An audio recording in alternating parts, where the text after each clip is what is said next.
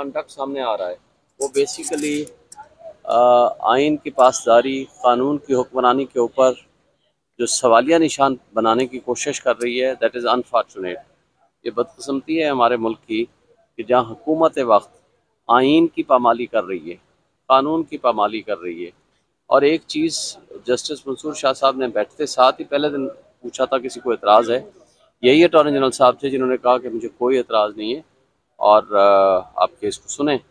जब दो दिन आर्गूमेंट्स हो गए आलमोस्ट कंक्लूड हो गए आर्गूमेंट्स अब आके एतराज़ उठाने का मकसद सिर्फ़ ये है कोई ऐसा सीन और इशू क्रिएट किया जाए ताकि डिस्प्यूट्स पैदा हो सकें और बेंच को मुतनाज़ा बनाने की कोशिश की जाए। हालाँकि ऐसी कोई बात नहीं है। ये तो थ्री मेंबर बेंच भी इस केस को सुन सकता था फाइव मेंबर बेंच भी सुन सकता था सिक्स मेंबर बेंच भी सुन सकता है। इस पर कोई फ़र्क नहीं पड़ेगा। चीफ जस्टिस साहब ने कहा कि हमारे हाथ में छड़ी नहीं है फैसलों पर अमल दरामद कराने के लिए। क्या सुप्रीम कोर्ट अब सिर्फ़ फैसले देगी, उन पर अमल दरामद नहीं होगा? देखें सुप्रीम कोर्ट के पास अमल दरामद करने का तरीक़ाकार मौजूद है। वो है तोहन अदालत, वो सज़ा दे सकते हैं, वो उनको बुला सकते हैं, वो उनको तलब कर सकते हैं। जो भी कोई ताकतवर आदमी होगा या ताकतवर शख्स होगा, वो आइन के ताबे है, या कोई ताकतवर इदारा होगा। वो सब आइन के ताबे हैं। और आइन के आर्टिकल 189 और 190 के मुताबिक तमाम इदारे पाबंद हैं, उनके हुक्म को माने और अगर वो नहीं करते हैं तो तोहन अदालत की कार्रवाई उन अशास के ख़िलाफ़ और उन अफराद के ख़िलाफ़ हो सकती है, जो सुप्रीम कोर्ट के आर्डर्स को नहीं तस्लीम करते या ना माने या स्कैंडलाइज करें या उनकी तस्दीक करें। साहब ये बताइए कि बार बार बेंच टूट रहा है, इस सवाल से क्या कहेंगे? बार बार एतराज़ात कर रही है।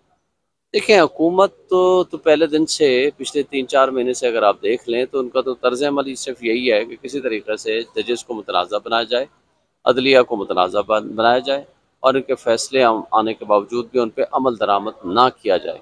और ये सिर्फ़ मानाबाजी है, ये काबिल अफसोस है और चीफ जस्टिस साहब ने भी इसमें अफसोस का इजहार किया कि अगर हुकूमत वक्त आइन की पामाली और आइन की बालादस्ती की बजाय आइन की पामाली करनी शुरू कर देगी, वह अदलिया को मुतनाज़ा बनाने की कोशिश करेगी तो ये काबिल अफसोस बात है।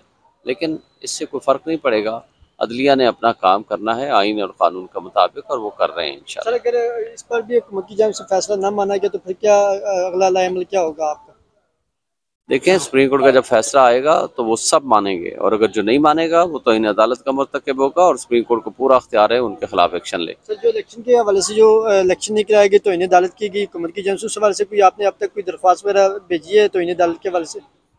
देखें, अभी तो वो इलेक्शन कमीशन की चूँकि रिव्यू पटिशन पेंडिंग है, और भी कुछ चीज़ें मामला पेंडिंग हैं, और सुप्रीम कोर्ट के पास ये मैटर सब्जुडस है, वो किसी भी वक्त कंटेम्प पटिशन फ़ाइल भी हो सकती है, और किसी भी वक्त वो सो मोटो भी कंटेम्प प्रोसीडिंग्स शुरू कर सकते हैं, क्योंकि ये तोहन अदालत हुई है, और अदालत इस बारे में आगाह है।